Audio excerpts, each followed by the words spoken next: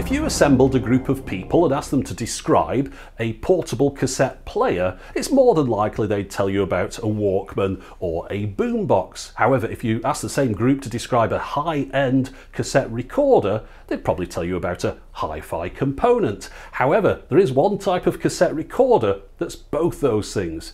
It's high-end and it's portable and no surprise I've got one here today to show you. This is the Sony TC D5. Let's take a look at it.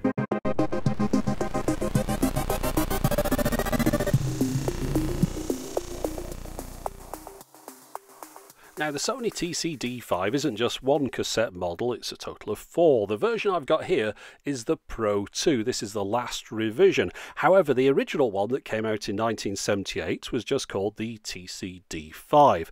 That was revised in 1980 to the TC-D5M, which meant it could record onto metal tapes. That one carried on being sold until 2005 approximately, but it forked in 1982. There was a Pro model issued which had XLR microphone inputs, and that was revised in 1986 and carried on to some time around about 1999 or maybe a little bit beyond there. So, putting aside the more technical differences for the moment, things like different record heads and microphone amplification circuitry, things like that, your average chap in the street is more interested in the fact that your Pro and Pro 2 only have XLR mic level inputs, whereas the prosumer versions, the original and the M, have line level RCA inputs and outputs, of course let's just take a step back for the moment and talk about field recorders in general because they are still in use. Of course, nowadays people tend to use digital ones. Some of these microphones will be for radio stations, they don't need to record video, so they just record onto a digital recorder. And the same would have gone for back in the 80s, people would have been using cassette recorders for that purpose. It was perfectly acceptable to use them for radio broadcasts. The quality was good enough for that. Of course, before then, people used reel to reel recorders, and field recorders have existed pretty much as long as recording itself has. Of course, back in the 60s and 70s, when TV news quite often relied on 16mm film, you'd have a separate sound chap recording the audio separate to the camera. But of course, later on, we started synchronizing the video and the sound onto one device, so field recorders tended to be used more just for radio. It wasn't that long ago that I was interviewed in the street like this. I mean, not dressed up like a woman like the comedian Dick Emery, but no, with a reporter coming up to me with a microphone in one hand, cassette recorder slung over their shoulder. That was was for something on local radio news. At the time the D5 came out, many of the rivals were only capable of recording in mono. The D5 was capable of good quality stereo recording and therefore often put to good use in the tapers section at a Grateful Dead concert. And another early adopter of the D5 was Sony co founder Masaru Ibuka, who took one along with him on his business trips with a set of headphones to listen to classical music. It had a good long battery life, but it was a little bit bulky, and he mentioned this in early 1979 to Akio Morita, who was the chairman, and that resulted in Sony developing their first Walkman. So just think if the D5 hadn't existed, perhaps the Walkman would never have happened. Sony called the TC-D5 the ultimate portable cassette deck and kept using that tagline throughout its life, and it was a long life as well. Looking back through the old Sony catalogues, you can see the D5 there in the 1980s and the 1990s. All the other products in the catalogue completely changed during that time, whereas the D5 remains constant throughout. If it was a car, it would be like the Land Rover. It looked very similar to the models that came out decades before, but there was no need to change it because they got it right first time. And the same can be said for the D5. But when it comes to the normally fast moving world of consumer electronics, the D5 is a bit of an anomaly. I mean, it was first launched in 1978 when the BBC were using reel to reel recorders for their field work, and then it existed throughout the years of the Walkman and the small dictaphones and carried on throughout, all the way through into the 21st century. I've even found it mentioned in this B&H catalogue where you can find professional mini disc recorders DAT recorders, CDRs, hard drives, but alongside all those, it's still there, the D5 Pro 2. Now, the reason I chose the Pro 2 over the other models in the range is because it was the last revision. It actually came out in 1986. The D5M was last revised in 1980. Uh, the Pro 2 has a couple of improvements such as the recording circuitry, better quality heads in there, a shield over the heads to stop interference from buzzing, things like that. But the Pro models were only generally available through specialist outlets like B&H. If you go on the Sony website, they still do Pro products. You've got to go past the normal consumer stuff down to the bottom here. You can see the Pro range, and there's stuff really that is there for broadcasters. And if you have a look at some of the prices on this, you can see why they class it as Pro. For example, this point of view camera is $75,000. So yeah, you can see this Pro cassette recorder is designed for that market and it feels quality as well. The whole thing is made out of metal. There's a couple of bits of plastic here and there, but really the whole body and the structure of the thing is just solid it's designed to take a kick and keep on recording. Along the bottom here you can see this section is made out of a rubber and that's a kind of protective bumper because when you hold it on your side if you were to drop it that's the part it would land on. Even the battery compartment has a metal cover. Might not sound like a big deal but very rare to see that and the batteries inside here are two standard D cells which will power it for approximately four and a half to five hours. There are of course advantages to using off the shelf batteries like these opposed to having a rechargeable device, especially if you've got your field recorder in the middle of nowhere, somewhere where there's no power. How do you recharge anything? You can always carry along a few extra batteries with you, though. And also, I noticed in this article it was about recording audio for the radio. They mentioned that after the tsunami, the only machine that was still working was the D5 when their more modern mini disc and DAT machines had already given up. I should also mention that both my Pro 2 model and the D5M can be run off DC power. However, I don't think the same goes for the original Pro, where mine's got a DC power jack, that's got a stereo and mono switch. Right, so I want to show you something now. I've taken the Pro 2 outside. I've got something recorded on this cassette. I'm going to play it into the camera and uh, just have a listen to this for a moment. If you want to develop a professional field recorder, you can't just take a typical cassette mechanism and plonk it into a case along with some batteries. No, because as soon as you were to move it, the sound would become wobbly. This is due to variations in the tape speed. It's something more commonly referred to as wow and flutter. Shaking the D5, though, has no effect. The playback speed is unaltered, and this is thanks to a new type of drive mechanism that Sony developed just for this machine. This kind of performance was vital for a device that has to record broadcast quality audio, whether it's at a press conference sat on a table or slung over the shoulder of a reporter running through a war zone. Now, that really was quite impressive of course, nowadays, though, when people are listening to solid state devices with no moving parts, it doesn't quite have the same impact. But when this thing came out, that was a bit of a revelation. It's all down to this very clever motor mechanism, which I can't even begin to explain to you because I don't quite understand it myself. But it's kind of a direct drive kind of thing. You've got a wheel, you've got another thing that's attached to the wheel, which drives it in a certain way that doesn't get affected by movement or gravity or things. All very clever and later on employed in the Sony D6C professional professional Walkman as well. But I can't really demonstrate it or show you how it works, so let's just put the cover back on here. But I will show you around the machine itself. If we start off on the left hand side we can see we've got a little uh, part that's sticking out of there and that's to attach a strap to so you can put it over a shoulder. There's one on the other side as well at the bottom corner, we've got a 6.5mm stereo headphone jack, and above that, there's a control to adjust the volume of that, which also affects the volume of the speaker on the top. It's just a mono speaker, really designed just for listening back to what you've recorded to check there's something there. It's not a high quality speaker. The keys on this are the typical piano key design, which was popular in the 70s, later on replaced by the kind of touch logic controls. This is basic, but it's basic because it worked and it doesn't go wrong. Over on the right hand side, side we've got the twin VU meters for the left and right stereo and a couple of other controls I'll show you a little bit later on. There's no button to open the cassette door, however, once you've opened it manually, you can see we've got a couple of additional lever switches in here. One of which turns Dolby B on or off, and then the other one selects tape formulations between Type 1 and Type 3. You might remember Type 3 being the shortly lived formulation that wasn't on the market all that long. However, this also automatically identifies Type 2, which is chrome tape, from this little lever at the back. It can play back metal tapes, but it can't record to them. If you want to record to metal tapes, then you'll need the TCD5M, the M standing for metal. It's a bit unusual that the prosumer model can record to metal, whereas the professional model can't.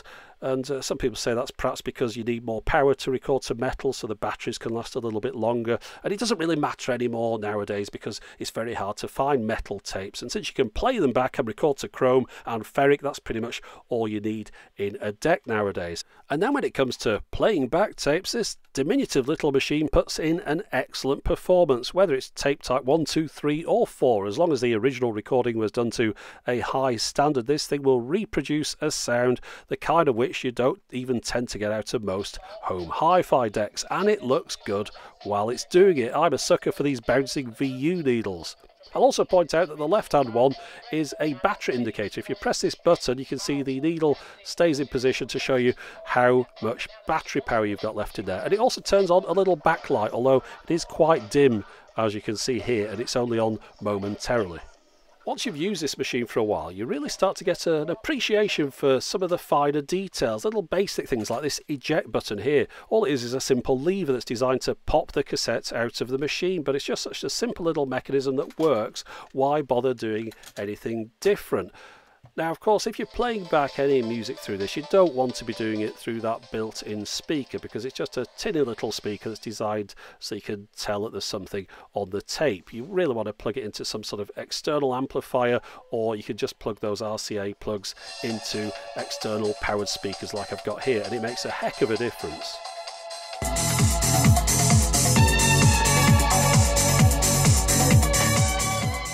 One reason I use this machine when I was demonstrating the Atari video music the other week is because you can have two live audio outputs at the same time. So I could plug the RCA outputs into the Atari and the headphone output came out of the front and into the camera that I was recording everything with. Talking of recording, you've got a record level dial here made out of metal. It's sort of gunmetal in a way. The whole thing feels a little bit military at times. It's just so well put together. But as you can see, you can adjust the left and right separately. And of course, during interviews, they might have had one microphone for one person person, one for the other, and you could have adjusted the levels. However, if you want to plug something into this, you can get a lead which will convert RCA into microphone balanced XLR inputs. However, once you plug those into an output, say from a line out from a CD player like I'm doing here, and then plug the other end into the D5, you find that line level outputs are a lot hotter, a lot louder than microphone levels. So that if I put pause on here and press record, you can see that it's just peaking the whole thing out completely. We've got the peak light shining at the top there as well, next to the record light.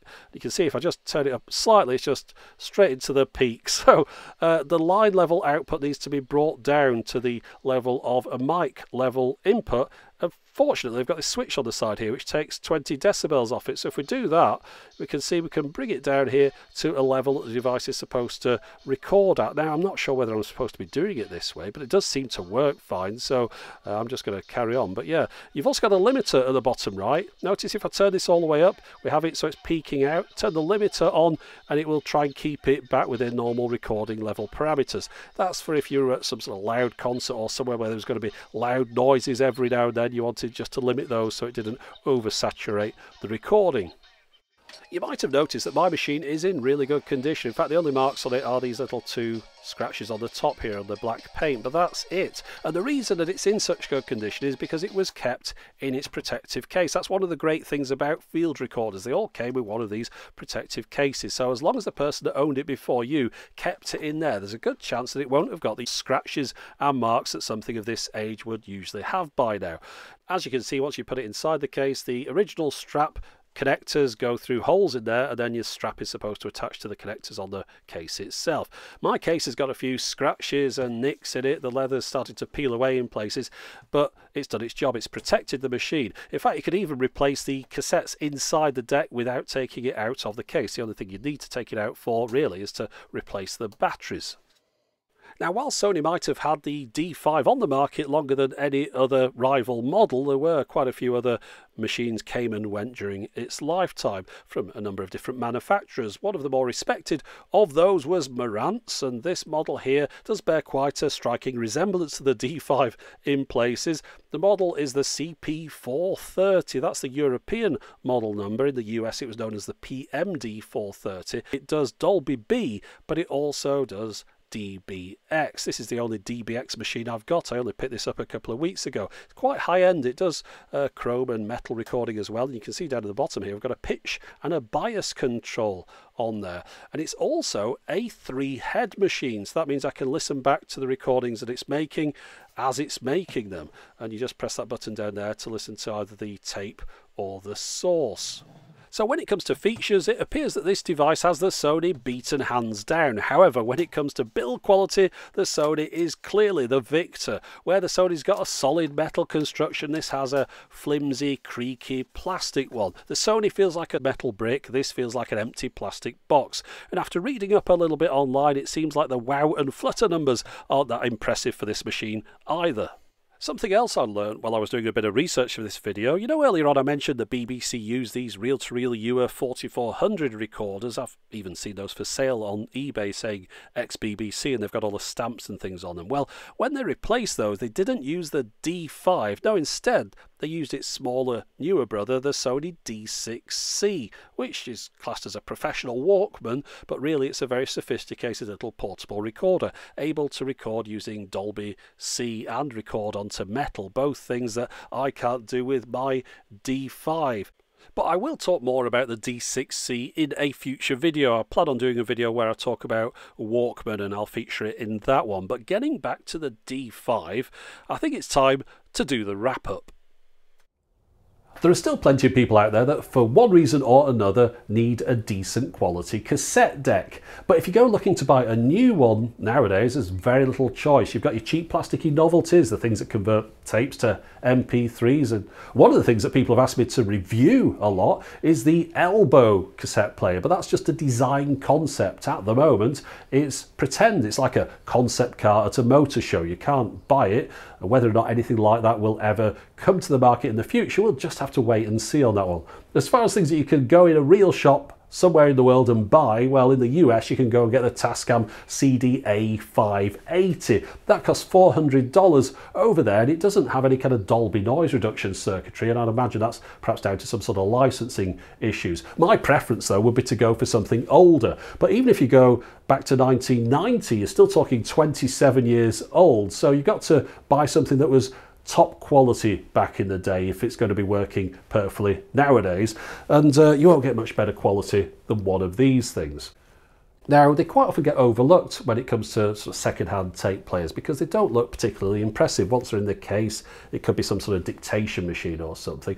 And if you just search for portable cassette recorder, you'll get a big list of uh, rubbishy things popping up. You need to know the model numbers. So what I've done, I've put some model numbers in the video description of ones that you could search for which might point you in the right direction. But uh, hopefully you've enjoyed this video and as always, thanks for watching.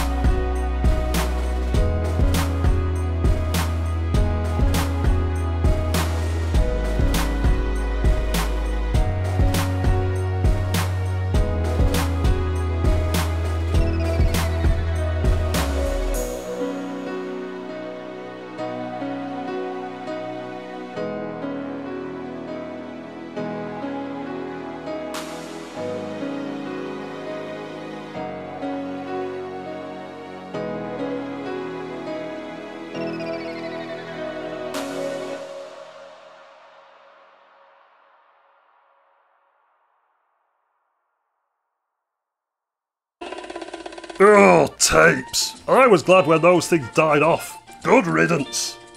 Why do you keep watching videos about things that you don't like and then complain about them?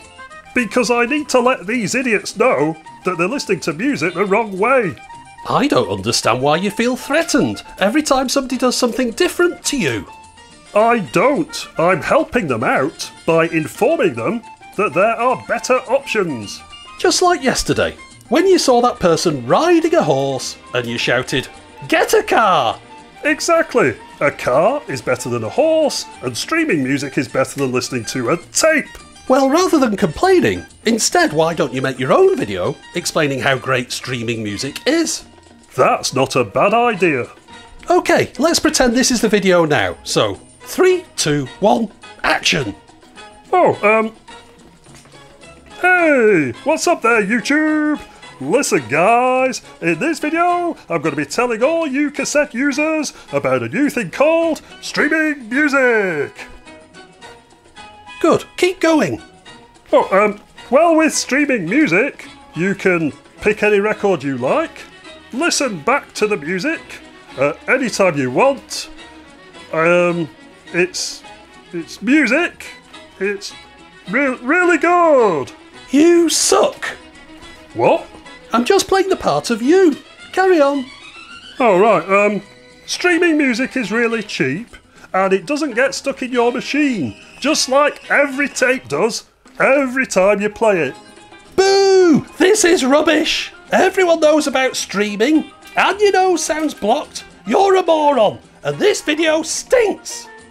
Um, and if you stream, you'll be doing what everyone else does. So you'll be normal, and you won't have to store all those records and tapes and things. So, what if I already use streaming music, but I also collect records and tapes? Uh, you need to stop doing what you enjoy and do what I want you to do. And then I'll feel happier about the choices that I've made. Okay, wrap it up now. Right, um, that's it, you guys out there in YouTube land for this week. Don't forget to like and subscribe. Thumbs down, unsubscribed, and scene. I thought that went really well.